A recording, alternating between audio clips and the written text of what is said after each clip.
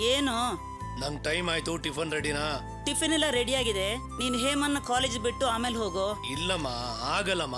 ನಂಗೆ ಸಿಕ್ಕಾಪಟ್ಟೆ ಕೆಲಸ ಇದೆ. ಸೆಂಟ್ರಲ್ ಇಂದ ಮಿನಿಸ್ಟರ್ ಬರ್ತಾ ಇದಾರೆ. ನಂಗೆ ಏರ್ಪೋರ್ಟ್ ಡ್ಯೂಟಿ ಹಾಕ್ಬಿಟ್ಟಿದ್ದಾರೆ. ನಾನು ಬೇಗ ಹೋಗ್ಬೇಕು. ನೋಡು ಯಾವತ್ತು ಯಾರಾದ್ರೂ ಬರೋದು ಹೋಗೋದು ಇದ್ದೇ ಇರುತ್ತೆ. ನೀನು ಮನೆ ಕೆಲಸನೂ ಸ್ವಲ್ಪ ನೋಡ್ಕೊಳ್ಳೋ. ನಾನು ಹೇಳೋದ್ ನಿನ್ಗೆ ಯಾಕಮ್ಮ ಅರ್ಥ ಆಗ್ತಿಲ್ಲ? ಅಣ್ಣ ನಾನು ರೆಡಿ ಹೋಗೋಣವಾ? ಇಲ್ಲಮ್ಮ ನಾನು ಇವಾಗ ಡ್ರಾಪ್ ಮಾಡಕ್ಕಾಗಲ್ಲ. ನೀನ್ ಬಸ್ಸಲ್ಲೇ ಹೋಗು. ಅಣ್ಣ ಪ್ಲೀಸ್ ಅಲ್ವೋ ಉಳಿದ ದಿನ ಅವಳು ಅವಳ ಪಾಡಿಗೆ ಬಸ್ಸಲ್ಲಿ ಹೋಗೋದಿಲ್ವೇನೋ? ಇವತ್ತು ಅವಳಿಗೆ ಕಾಲೇಜಲ್ಲಿ ಫಸ್ಟ್ ಪರೀಕ್ಷೆ ಕಣೋ. ಅವಳನ್ನ ಕಾಲೇಜಿಗೆ ಬಿಟ್ಟು ಹೋಗೋ. ನಿನಗೆ ಹೇಗೆ ಹೇಳೋದಮ್ಮ? ಅಪ್ಪ ಆ? ಬಾಯ್ಲೆ ಏನು? ಕೊಡಿಲೆ ಏನು ಇದು? ಜೀವಮಾನದಲ್ಲಿ ಯಾವತ್ತು ತೆಂಗಿನಕಾಯಿ ನೋಡೇ ಇಲ್ವೇನೋ ಅನ್ನೋ ರೀತಿ ನೋಡ್ತಾ ಇದೆಯಲ್ಲೋ ಅಪ್ಪ ಹಬ್ಬಬ್ಬ ಅಂದ್ರೆ ಈ ತೆಂಗಿನಕಾಯಿಗೆ ಐದು ರೂಪಾಯಿ ಇರ್ಬೋದು.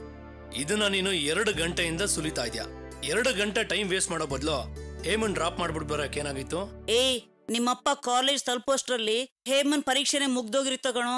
ನೀನೇ ಹೋಗಿ ಬಿಡ್ಬೇಕಾಗಿತ್ತು? ಏನ್ ವಿಮಾನದಲ್ಲಿ ಕರ್ಕೊಂಡು ಹೋಗಿ ಬಿಡ್ತಾ ಇದ್ಯಾ ಓಹೋ ನಿಮ್ಮನ್ ಮದುವೆ ಆಗಿರೋ ಭಾಗ್ಯಕ್ಕೆ ಅದೊಂದು ಕೊರತೆ ಇತ್ತು ನೋಡಿ. ಮದುವೆ ಆಗಿ ಮೂವತ್ತು ವರ್ಷ ಆಯ್ತು. ಮನೆ ಬಾಗ್ಲಲ್ಲಿ ನಿಂತು ಏರೋಪ್ಲೇನ್ ಕಣ್ಣಲ್ಲಿ ಹಾಗೆ ಬಾಯ್ಬಿಟ್ಟು ನೋಡ್ಕೊಳ್ಳೋದೇ ಬಂತು. ರಿಟೈರ್ಡ್ ಆಗೋವರೆಗೂ ಸೈಕಲ್ ಅಲ್ಲೇ ಕಾಲ ಕಳೆದ್ರಿ? ಅಲ್ಲಮ್ಮ ಒಂದ್ ಟೂ ವೀಲರ್ ತಗೊಳಕಾಗಿಲ್ಲ ಅಪ್ಪಂಗ. ಆನಂದು ಆ ಕಾಲದಲ್ಲಿ ಟೂ ವೀಲರ್ ತಗೊಳ್ಳೋದಕ್ಕೆ ಎಲ್ಲೋ ಸಾಧ್ಯ ಆಗ್ತಾ ಇತ್ತು? ನನಗೆ ಬರೋ ನೂರ ತೊಂಬತ್ತೊಂಬತ್ತು ರೂಪಾಯಿ ಸಂಬಳದಲ್ಲಿ ನಿಮ್ಮನ್ನೆಲ್ಲ ಸ್ಕೂಲಿಗೆ ಕಳಿಸಿ ಓದಿಸಿ ಊಟ ಹಾಕಿ ಬೆಳೆಸೋದಕ್ಕೆ ನಾನು ಎಷ್ಟು ಕಷ್ಟಪಟ್ಟಿದ್ದೀನಿ ಗೊತ್ತಾ? ಓ ಪೊಲೀಸರು ಬರೀ ಸಂಬಳ ನಂಬ್ಕೊಂಡು ಬದುಕಿದ್ರೆ ಇದೇ ಗತಿ. ಬೆತ್ತ ಮಾತ್ರ ಉಪಯೋಗಿಸಿದ್ರೆ ಸಾಕಾಗಲ್ಲಪ್ಪ ಬುದ್ಧಿನೂ ಉಪಯೋಗಿಸ್ಬೇಕು. ನೋಡು ನಾನು ನ್ಯಾಯವಾಗೇ ಬದುಕಬೇಕು ಅಂತ ಅನ್ಕೊಂಡಿದ್ದೆ. ಕಾನ್ಸ್ಟೇಬಲ್ ಆಗಿದ್ರು ಕೈನ ಶುದ್ಧ ಇಟ್ಕೊಂಡು ಒಳ್ಳೆ ಹೆಸರು ತಗೋಬೇಕು ಅಂತ ಆಸೆ ಪಡ್ತಿದ್ದೆ ಕಣೋ. ಹ್ಮ್ ಅದಕ್ಕೆ ಈಗ ತೆಂಗಿನಕಾಯಿ ಸುಲಿತಾ ಕೂತ್ಕೊಂಡೆ ಅಲ್ವಾ? ನನ್ನ ವಿಷಯ ಆಗಿರ್ಲಿ ಬಿಡೋ. ನಮ್ ಕಾಲ ಮುಗ್ದೋಯ್ತು. ಈಗ ನೀನೇನು ಹೆಡ್ ಕಾನ್ಸ್ಟೇಬಲ್ ಆಗೇ ಮುಂದುವರಿಬೇಕು ಅಂತಿದ್ಯೋ? ಅಥವಾ ಮುಂದುವರೋ ಬರೋ ದಾರಿ ಏನಾದ್ರು ನೋಡ್ತೀಯಾ?